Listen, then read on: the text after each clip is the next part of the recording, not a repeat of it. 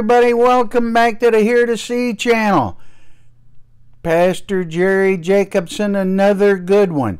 Always focusing on sharing pearls of wisdom, nuggets of knowledge, understanding the difficult, and instructions for a better life. Today, loving God for all you are, Luke chapter 10, 27. Listen. Hi there, Jerry Jacobson here tonight. Uh, last is this August, the last day of August, or is tomorrow the last? Tomorrow's the last day of August. September's going to be here in a couple days.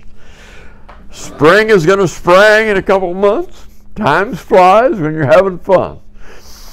God is moving by His Spirit. People's lives are being touched and changed, and I just wanted to take a few minutes to talk here tonight. Blair asked me to come in and, and make another message and give another message.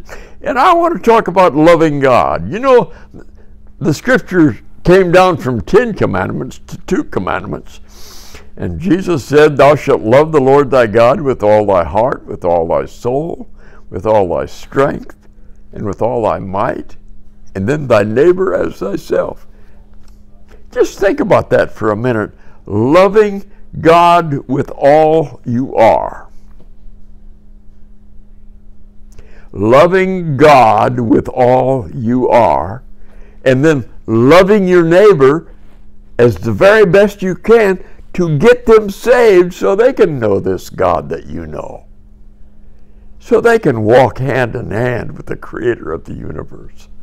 God has put you and me in such an enviable position that we are able to lead people to the creator of the universe and they become intimately related to him. Born again, in fact, born to be the child of God. And you and I have that privilege. I had, I had seven brothers and sisters. There were eight of us children in our family. And we were a, a very uh, national people. We were poor as Job's turkey. We didn't have much money, but we had a lot of spirit. And we were a crude and rough and really a well, I don't want to say some of the things I'm thinking, so, but it kind of lets you know what we were, what we were like. But, but six of us went into the military. Uh, there were two in the Marines. There were four in the Army. I had a sister who was a WAC. I had two brothers who were Marines. I had uh, three brother. If I get this right, forget how many I had. And then I was a paratrooper in the 82nd Airborne. And we were a patriotic family. When I was a little boy at five years old, I can remember that, that we would be in school and we would be pledging allegiance to the flag. I pledge allegiance to the flag of the United States of America. And my mother had taught me to love that flag, and I would cry when I pledged allegiance to the flag. And I've been that way all my, I still do, and I'm 87. And I still cry when I pledge allegiance to the flag. Why? Because that's the country God gave me to live in. That's the country God put me in to support. That's the country God put me in that I could teach people about Him and get them to love Him. He did that for me. He put me here. Why shouldn't I, I hear people say, America's this and America America's and I said, you sure got that missed. I heard a guy the other day tell me he'd had two wives and, and he divorced them both because they were wrong.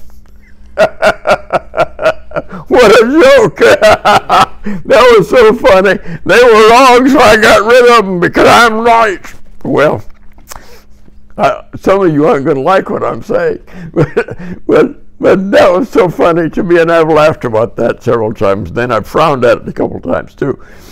But I want you to know that God is someone that wants people to love Him. At five years old, I would sit out to the river, and if my family was with me, I would sit there fishing, just waiting for that fish to come so I could catch him. And I would catch some just as a little boy. My brother and I were three, and we saw this guy had caught this big carp in Livermore, Iowa. This has been a long time ago, 84 years ago. And I remember that big carp that he caught. It was as big as I was. And, and I thought I was pretty big. I was all of three years old. And my brother and I said, man, we could catch one of them if we could just get down to the river. He was four, Leroy, and me. And so we said, let's get some, let's dig some worms and get a couple of hooks and a couple of lines and a couple of poles, and we'll go down and catch them. And so he, he was he was four and I was three. What did we do? We went down to the river. We went down to the river and we put our bait in the water and got a big bite and caught a big carp. And I was three years old. And God just gave me the desire of my heart. God has been trying to get me to know Him all of my life. Just the same with you. Why do you have so many funny things that take place that you don't understand? It's because God wants you to think about Him and get Him to help you understand what you're going through.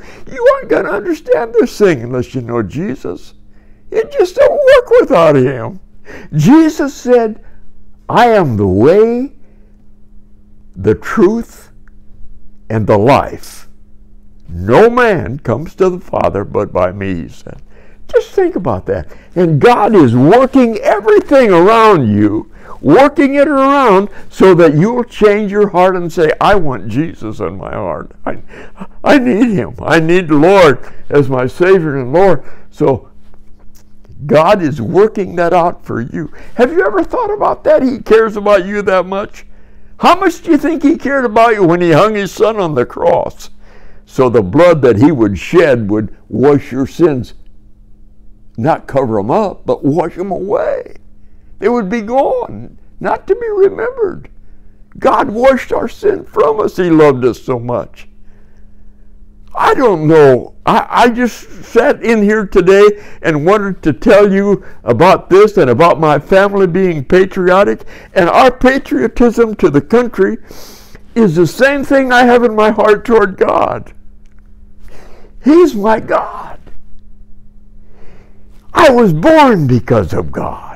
I had parents because of God. I grew up because of God. And here I am. I'm going to go be with Him forever and ever because He's God and He loves me.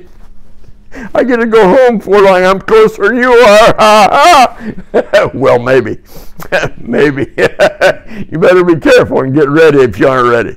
Well, I'm here tonight. Just I just come in and felt I wanted to say that God loves you. Remember that scripture I quoted? He said, Thou shalt love the Lord thy God with all thy heart, with all thy soul. What else? All my might. And love your neighbor as yourself.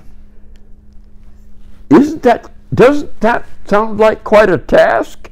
Well, I've been at it for 87 years. I haven't gotten there yet. I love him, but I know I could love him more if I would just spend more time in the Word and if I would just communicate more. I would love him more because communicating with our Heavenly Father through His Son Jesus Christ by the power of His Holy Spirit makes us loving more.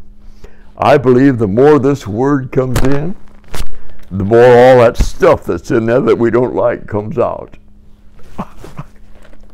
This is our bath. and we get to take it every morning. We get up and we get to take a bath in the Word of God.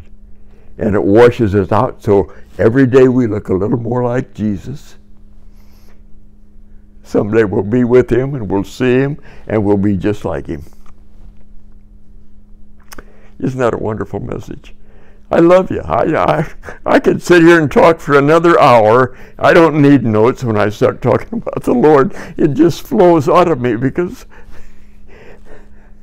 God is so wonderful. There's nothing like God. And people miss Him and don't receive Him. And He wants to come into their lives.